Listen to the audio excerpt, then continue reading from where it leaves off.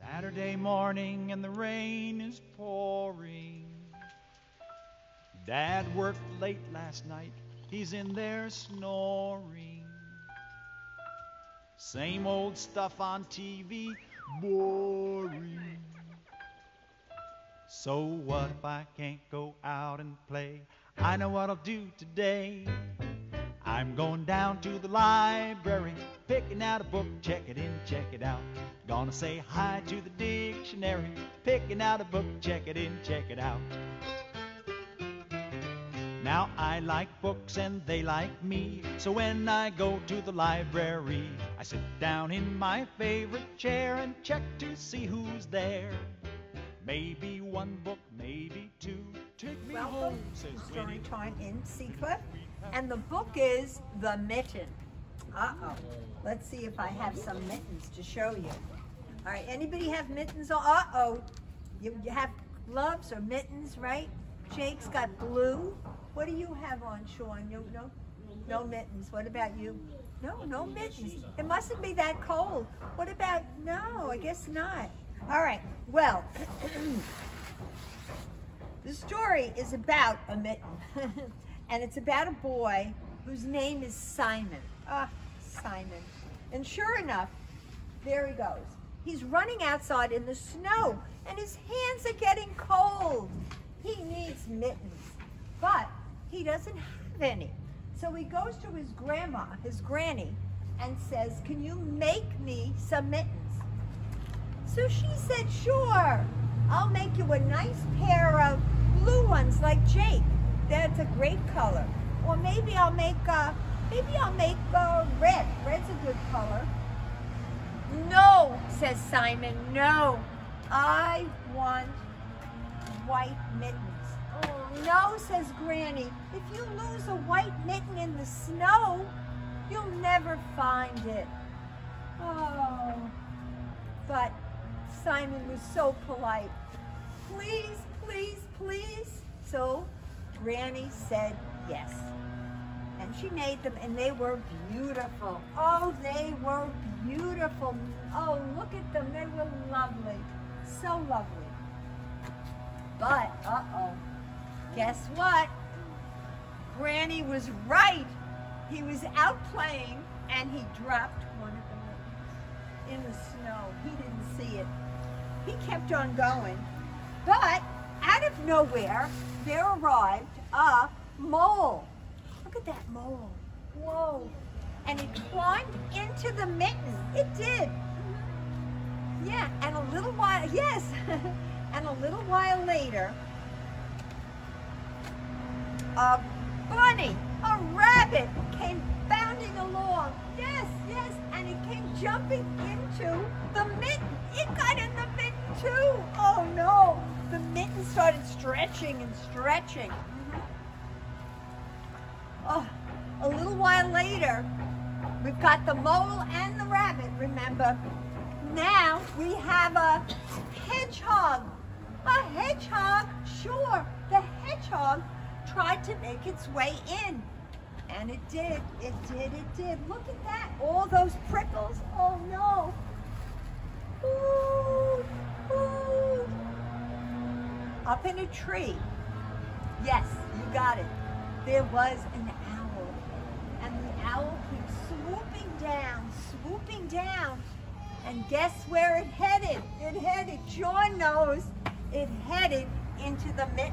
Yeah, it did. It did, you're right. Mm-hmm. Oh no, it's kind of big, but it's gonna make it. Unbelievable. A skunk, a skunk came along. A skunk, and the skunk said, move over, move over. And all the animals moved over. They moved over. And then, then, a wolf. Yes, you got it, Julian. A wolf came along. Well, sure enough, the wolf or the dog or the fox climbs in to the mitten. Do you know what's coming next? A huge bear appeared on the scene There he is. And he said, move over, move over. And he's too big, I know. The glove, she really did a good job on that mitten. It stretched and it stretched and it stretched. So sure enough, the bear fit in. There he is. The next thing, oh no, oh no. A tiny, tiny animal came along. It was a, a mouse. yes, a mouse. Cora knows the mouse. Yeah, the mouse climbed up on top of the bear's nose. Uh, and the mouse's whiskers tickled the bear's nose. Ha, ha, ha, ha, chew. And everybody went flying all over the place. Oh no. Oh no. All of them, all over. Unbelievable. Yes, and the mitten, what happened to the mitten? The mitten was up in the sky. He reached up, grabbed it. How perfect is that? But, oh no, there, see, he's grabbing it. He runs back and he says, oh, thank goodness. My granny would be upset if I had lost that mitten. Oh no. There she is. She's at the window. And she's so happy, she's so happy that he's got the mitten. However, however, look at this. This is a mystery. When he went back to the house to show Granny that he had both mittens, one was a little mitten and one was a big mitten. What was that all about? I think Jack knows. Which one stretched and stretched? Yeah, you're right. You got it. The big one, it stretched and stretched and stretched so all of the animals could fit.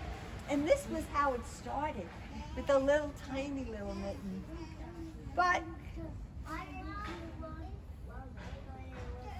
I know, I know. So what is he going to do with that from now on? I don't know. It'll be fine. It'll work out, right? It'll, it'll be fine. So that's the end of the story of the mitten. Yeah, yeah, yeah. So good. Daddy's taking us to the zoo tomorrow. Zoo tomorrow, zoo tomorrow. Daddy's taking us to the zoo tomorrow, and we can stay all day. We're going to the zoo,